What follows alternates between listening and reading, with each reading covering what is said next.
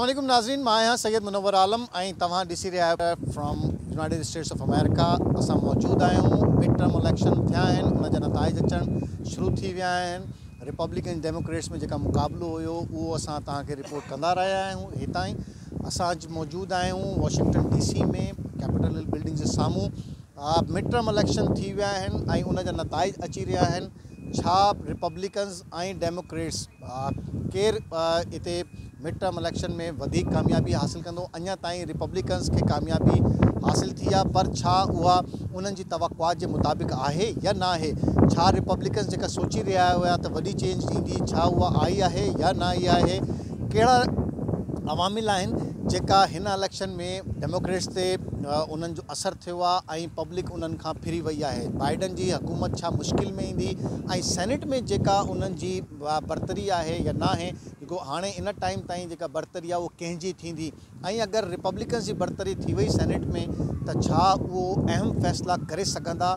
या ॿ हज़ार चोवीह में जेका जनरल इलेक्शन थियणा आहिनि, उन ताईं, उन वक़्तु ताईं उहो फ़ैसिलो न थी सघंदा? ऐं उन्हनि जी सेनेट में जेका अक्सरियत आहिनि, त अहम क़ानून साज़ी जेका आहे, उहा रहिजी वेंदी। मुख़्तलिफ़ सवालनि इन ई प्रोग्राम में असां सॉल्व कंदासीं।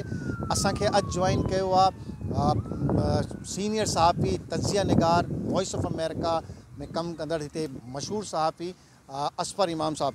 असफ़र साहब अलैकुम असफ़र साहब जो मिड टर्म कैसे आप सबसे पहले तो उसको देख रहे हैं और क्या तवक़ात थी रिपब्लिकन्स की या डेमोक्रेट्स की वो किसकी पूरी हुई किसकी पूरी नहीं हो सकी? देखिए ये मिड टर्म इलेक्शन जो होते हैं ना ये सदारत चार साल की मुद्दत के लिए होते हैं। दो साल बाद एक मिड टर्म इलेक्शन आता है जिसमें पार्लियामेंट की तब्दीली होती है। ऐवान ज़ीरी जो है वो उसके तमाम चार सौ पैंतीस नशस्तों के और सेनेट की एक दहाई नशस्तों के और कुछ गवर्नर्स के भी और फिर मुकामी असम्बलियों की जो रियासती असम्बलियों उसके भी हैं और इस दौरान अगर कोई इंतकाल कर जाता है या जी जी जो नशस्त पे हाँ। उन पे भी तो ये होते हैं। लेकिन रवायती तौर पर अमेरिका में ये जो मिड टर्म इलेक्शन होते हैं वो एक तरीके से उस वक्त के जो हुक्मरान होते हैं जो उस वक्त के जो सदर होते हैं उसके लिए उसके हवाले से एक रेफरेंडम होता है उसकी कारकर्दगी पर। ठीक है। तो सदर बाइडन पेंडेमिक की वजह से और यूक्रेन जंग की वजह से जो ऑयल की तरसील पे पाबंदी लगी है तो एक अमरीकी मीशत भी दुनिया के दिगर मुल्कों की तरह अमरीकी मीशत भी काफ़ी मुतासर है।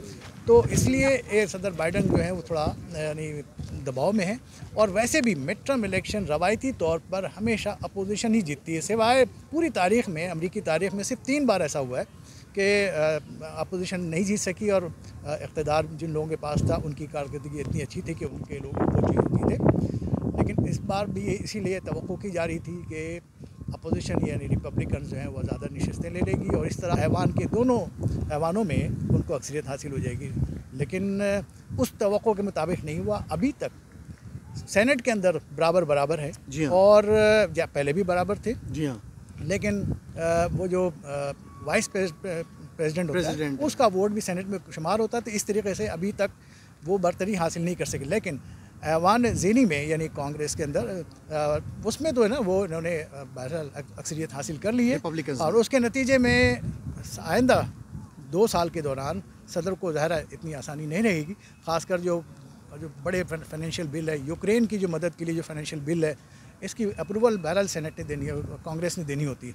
अगर कांग्रेस ने नहीं दी तो एक तातुल की शिकार का, का मसला होगा। और मजीद कानून साजियाँ भी और ख़ास तौर पर जो अहम फैसले हैं इन्फ्लेशन के हवाले से महँगाई के हवाले से और जब जनरल इलेक्शन करीब आते हैं तो जो हुक्मरान जमात होती है वो कुछ ऐसे इंसेंटिव्स और ऐसे रिलीफ देती है कि उनका वोट बैंक पलट कर आए। हाँ, लेकिन देखिए सबसे अहम बात ये कि यहाँ पे यानी एक कई बार ऐसा हुआ है कि जो ऐवान सदर में और पार्लियामेंट के दरमियान जो एक फ़र्क रहा जो रबता कम हुआ या ताल्लुक़ नहीं रहा तो उसके नतीजे में यानी जब फाइनेंशियल बिल की मंजूरी बहरहाल पार्लियामेंट देती है और पार्लियामेंट की बिल की मंजूरी ना देने की वजह से यहाँ सरकारी अदारों और जो अदारों के, जो तनख्वाहों के, की अदायगी या दिगर तमाम अदायगियाँ भी रुकी हैं।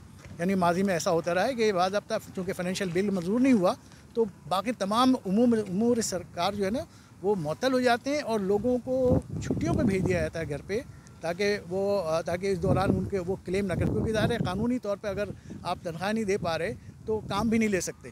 तो ये कानून कानून की के तहत इसके ऊपर ये पाबंदी तो लोगों को घरों भेज घर पे भेज दिया था जब जब पार्लियामेंट पार्ल- और ये माजी में भी ऐसा भी होता रहा है जब पार्लियामेंट फाइनेंशियल बिल की मंजूरी नहीं देती अखराजात क्या हर अरे हर महीने और हर इसमें कुछ अरसे के बाद अखराजात अच्छा बाइडन को अभी हम इलेक्शन पे जो बात करते हैं बाइडन को आपने दो वजूहत तो बचाएँ बताई कि एक पैंडमिक यानी कोविड की वजह से दूसरा यूक्रेन ने जो सप्लाई और रशियंस के साथ जो मसाइल पैदा हुए उसकी वजह से वो हुआ। उसने किस तरीके से यहाँ पे असर डाला? इन्फ्लेशन कौन कौन से सेक्टर में ऐसी बढ़ी जिसकी वजह से अब डेमोक्रेट्स को ज़रा सा परेशानी का सामना देखिए ना ये मसला ये था कि तकरीबन पेंडेमिक के दौरान दो से ढाई साल तक लोग घरों में बैठे रहे। अभी भी लोग बहुत सारे लोग घरों में बैठे हैं घर से बैठ के काम कर रहे हैं लेकिन आ, ब- बज़ाहिर तमाम सरगर्मियाँ मअतल होकर रह गई थी मगर बरसों ये सिलसिला रहा। ज़ाहिर उसके नतीजे में पैदावार मुतासर हुई सनतों के अंदर पैदावार मुतासर हुई तो उनकी जो सप्लाई उस वक्त जो मुता- म- यानी जो पैदावार मुतासर हुई तो वो सप्लाई अब उसके असरात आ रहे हैं। इसी तरह अ, माजी में यानी जो यानी ये सब तक हुआ था कि मैं जानता हूँ कई लोगों के जिनके बागात थे और उसमें फल तोड़ने के लिए मजदूर नहीं थे।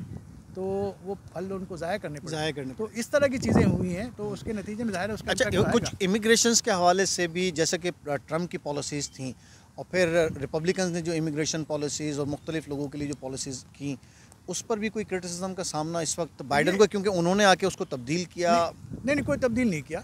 इन्होंने आ, बस ये है कि इनको अपोजिशन को शिकायत ये है कि जो सख्त पॉलिसी ट्रंप चाहते थे और उन्होंने खासकर जो मेक्सिको के साथ दीवार बनानी शुरू कर दी थी तो उसको रोक दिया गया था। तो उसके नतीजे में वहाँ पे ये हो रहा है कि जो आ, ये जो मेक्सिको के बॉर्डर से बहुत बड़ी तादाद में लोग आ रहे हैं और उन इलाकों के जो गवर्नर हैं रिपब्लिकन्स हैं उन्होंने एहतजाजन ये शुरू कर दिया है कि वो बसों में भरते हैं और यहाँ वाशिंगटन भेज देते हैं।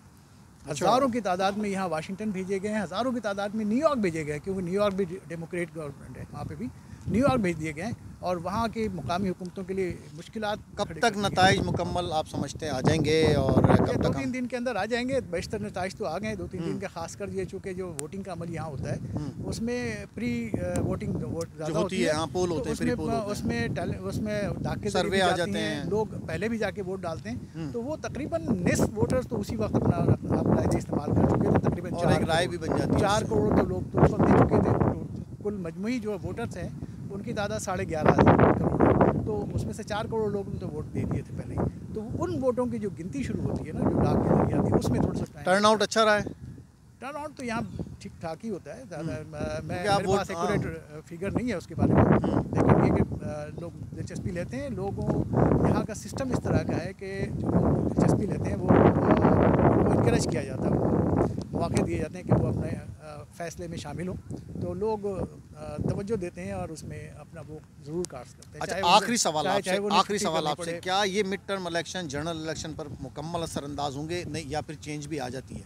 नहीं बिल्कुल चेंज भी आ सकती है और वो भी आ सकता है। अगर बज़ाहिर ऐसा लग नहीं रहा है कि कोई डेमोक्रेट के पास कोई लीडरशिप इतनी ज़्यादा मुस्तकम हो लेकिन अगर कोई अच्छी लीडरशिप आती है तो वो चेंज करती है जिस बिल्कुल हाँ, लेकिन चेंज हो सकती जिस तरह ट्रंप सामने आया इसी तरह अगर कोई और लीडरशिप आती है इस दौरान आइंदा दो साल के अंदर में के लिए अभी अब से चंद महीनों बाद ही नए कैंडिडेट जो हैं वो सामने आना शुरू हो जाएँगे और उनके लिए मुहिम शुरू हो जाएगी। ठीक है। थैंक यू असफर इमाम साहब असां सां मौजूदु हुयो। ऐं असां ओवरऑल जेको तजियो आहे ख़ासि तौर ते मिड टर्म इलेक्शन जे हवाले सां उहो भरपूर तरीक़े से असफर इमाम साहब इहो बयानु अ, पंहिंजे नाज़रीन जे लाइ असां इहो ॿुधायूं त ॿिनि टिनि ॾींहंनि में इहो मुकमल नताइज अची वेंदा ऐं लोअर जेको हाउस आहे उन में केरु ईंदो, रिपब्लिकन्स ईंदा या डेमोक्रेट्स पंहिंजी अक्सरियत बरक़रार रखे सघंदा।